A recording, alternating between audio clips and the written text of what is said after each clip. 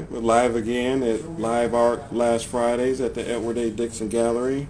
And today we have Janet Garlikov uh, and another person who's, I think I may have said her name right, but I'll let her introduce herself. Janet Garlikov. It's like garlic with an O. Okay. The V is silent. V is silent, I married the guy 26 years ago. I only learned how to spell it last week myself, so don't feel bad about it. Okay, great. So tell us a little about a little bit about yourself. Of course, uh, you have some artwork here in the gallery, but uh, you do lots of other things. So tell us about the art here and, and some of the other art that you have. Well, the art that is here is lace on steel. And it, it kind of references the fact that I was born in Pittsburgh and my grandmother was into lace. So, um, and I worked with Mike Elsoff for a period of time. So I really gravitated towards the um, steel concept. Um, and, and in particular, uh, the weathered or rusted steel. So I buy the steel from, um, have it fabricated at Buddy's Steel over on um, Leo Street.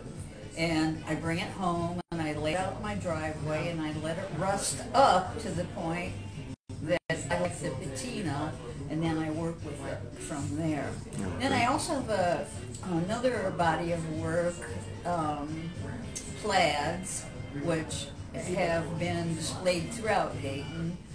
Uh, last year we were in Wheat Penny for three months. Um, I can't remember place. I'm old. I can't remember everything. All over. I got to work all over. But I know you've been in uh, what Dayton Society of Artists too, I believe. Oh yeah, Uh-huh. and DVAC. DVAC. also. Uh huh.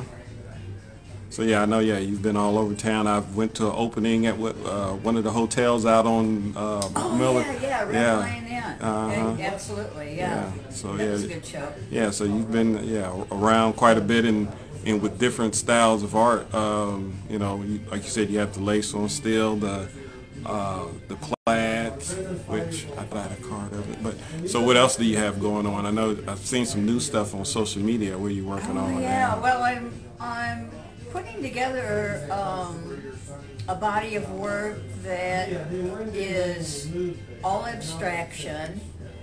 I'm shooting to be in um, one of Bill Cunningham's, Bill Montana's shows over at the orphanage called, um, what's the name of the show?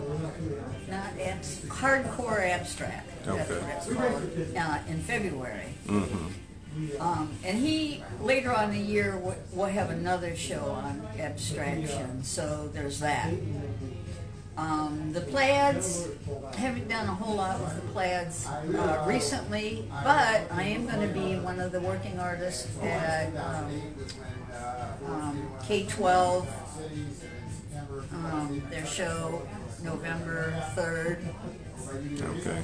Um, they're gonna have like, um, working artists during the actual show, so I, I will be one of the working artists. We're gonna, uh, get a full, the total work done in two hours, so, yeah. Okay. That sounds fun. Little, little marathon for Okay, me. that sounds fun. And and so, out of all these different styles you've been working on, what what's been your favorite Which, whatever I'm working on it at the time? time. At the time. Okay. Yeah. Okay. And that's the truth. And um, and then I know you have an exhibit coming up, something to do with some birds and what's it? What Oh, is that? yeah, yeah. Uh, we open first Friday in November at the orphanage, 73 North Detroit, Detroit, however it's pronounced, um, over there in the Front Street complex. Myself, uh, Julie Riley, and Samantha Farkas, and the um, theme is birds. So we're calling the show Birds of a Feather. Okay. So in addition to that, we will have a special presentation on third Sunday in November Uh, we will be open, of course, but we're also going to have the um, lady from Glen Helen who's in charge of the Raptor Center. She's actually going to bring birds with her Mm-hmm. Oh, wow. that day. So I mean, encourage, especially uh, have a family outing and you know come and look at our birds, come and look at live birds. Okay, okay, pretty awesome. So, sound like you're pretty busy with. I am busy. So, what's uh, 2019 gonna look like? Well, um, my main show at this point in time is going to be in May, and that show is going to be called In the Garden. Um, and I've invited two other artists to participate in that show, and one is Jay Favorite, who does um, metal sculptures, and he has done some floral work for me, which I have in my own garden at home. Uh, I'm a master gardener, so I really appreciate the fact I don't have to water or weed his stuff, and it looks great. Okay. So he's going to be in that show with me, and also um, Cecilia. I forgot her last name. She's the only girl that makes jewelry and um, that has a floral theme to it. Mm-hmm. Okay. She'll be, she'll be uh, included in that show. So, where else currently can people find your artwork and more about you? Um, you know, like I said, where is there a website, social media? My website's really difficult, janetgarlikov.com. P.S. I am the only Janet Garlikov in the world, so you will have, as long as you can spell the name, you can find me. Um, I'm on Facebook.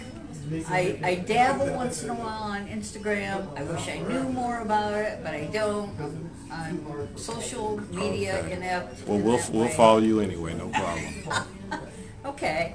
Um, so where else am I going to be? I'm hoping maybe next fall to be at Bears Mill, but we haven't confirmed that at this point yet. Okay. Okay. Well, we'll try and keep up to date with what you have going on, and thanks for coming in and doing this interview today. Anytime. All right. Thanks.